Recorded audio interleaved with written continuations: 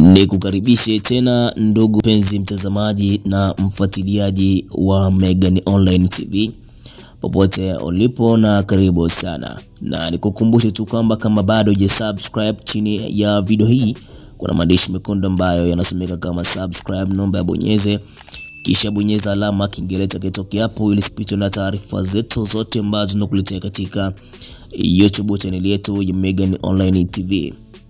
E bwana, siku ya jana tarehe 6 Januari 2022 kulitokea na tukio kubwa la spika wa bunge Job Ndugai kuweza kutuma barua ya kujiuzulu, lakini vilevile vile siku ya leo Godbless Blema ameweza kuandika katika ukurasa wake wa Twitter, ameweza kumwandikia waziri mkuu wa Jamhuri Muungano wa Tanzania. Amesema kwamba msaidie rais kuunda serikali yake, jiuzulu ili aweze kupata waziri mkuu anaye tokana na katiba ya nchi. Nafikiri mwanasheria mkuu wa serikali ata atakushauri vyema. Hivyo nalivyoweza kuandika katika ukurasa wake wa Twitter siku ya leo.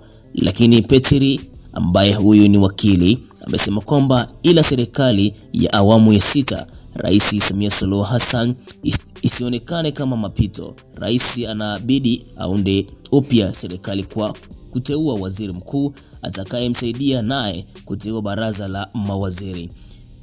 Jambo hili linapaswa kufanyika mapema sana. Nchi hii ya ibara ya 51 kifungu namba mbili mabano ya katiba ya nchi. Huyu ni Petri ambaye ni wakili, ameweza kuandika katika ukurasa wake wa Twitter, anamtaka waziri mkuu wa Jamhuri ya Muungano wa Tanzania Kassim Majaliwa aweze kujiuzulu. Hii ndio taarifa kamili nimekuletea katika YouTube chaneli ya Megan Online TV. Kwa uchambuzi zaidi, tuweze kusikiliza kinachoendelea baada tu ya spika wa bunge Job Ndugai kuweza kujiuzulu siku ya jana eh, tarehe 6 Januari 2021. Ni kuombe tu usiache kudondosha maoni yako chini ya video hii na kuweza kusubscribe ili usipitwe na taarifa zetu zote ambazo tunakuletea katika YouTube channel yetu. Tuweze kusikiliza uchambuzi zaidi kuhusiana na eh, waziri mkuu kuweza kujiuzulu